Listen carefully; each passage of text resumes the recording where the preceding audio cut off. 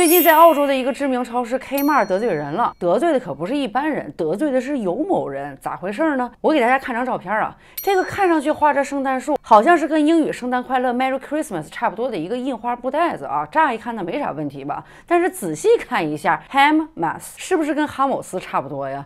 于是呢，澳洲有某人协会的人看了之后，很生气的说了：“你们这不是夹带私货吗？啥意思？你们想爱吃啥吧？”他们就向 Kmart 投诉了。那人家超市说了：“你着实是想多了啊。” Ham 呢是英语里边火腿的意思，我们这袋子里边装的就是火腿，我们只不过是玩了个梗，祝大家圣诞火腿快乐。你这想哪儿去了？可是有某人一向都是自认自己地位高贵，能服气吗？肯定不能啊。所以呢，他们正式跟超市申诉，这么说的：我们怀疑某些产品经理啊可能会给你们超市带来一些尴尬，所以呢，我们已经礼貌的写信给你们 Kmart 母公司，建议下架该产品了。听明白了吧？人家甚至傲娇的告诉你咋地吧，我直接往上边投诉你们了，看你们。怎么办？此事一出呢，在澳洲本地引起了热议。至于超市到底是不是夹带私货这个问题，恐怕只有他们自己知道答案了。公开场合的话，恐怕是得不到明确回答的。这个咱们都懂。不过迫于上边的压力啊，听说他们已经从货架和网上都下架了这些袋子了。这个我们也都能想得到，毕竟有某资本的力量那可不是开玩笑的，他们能操控的可是有很多的，对吧？事实上，在澳洲啊，最近还出了一档子事儿。昨天不是一年一度的澳洲墨尔本杯赛马日吗？除了我昨天讲过的，有人停一大货车在马路中间出。来支持八引起混乱之外，参加这个盛大庆祝活动的不是有好多澳洲本地的名人、商人、网红之类的吗？就有一位阿德莱德的女商人，穿着由设计师专门设计的裙装出来，这衣服可有讲究了，正面写着“环八自由”，背面写着“人道主义在哪里？停火”等字样。然后这身衣服在澳洲这么重要、盛大、公开的场合穿出来，可想而知又引起骚动了。对于这条裙子引发的争议啊，有某社区呼吁，你们赛马俱乐部应该禁止啊。但是根据目前的信息啊，她的服装并没有违反相关的。规则。这位女商人还说了，我要表达的是，我们需要更多的关注世界上正在发生的事情。澳洲需要对世界上正在发生的事情采取立场。还说了，需要制止在巴发生的悲惨事件。我就是要在墨尔本杯这么重大的场合站出来为此事发声，没有比这个场合更合适的了。哎呀，这话说的，这大姐真是正面硬刚啊！咱说通过衣服表达支持巴的立场，这算不算夹带私货呢？是个值得探讨的问题。总之啊，最近在澳洲真的是越来越多的人站出来挺巴，明着呢，迫于有某社区和。资本的压力，很多人没办法操作，于是呢就想出来这些五花八门的方法。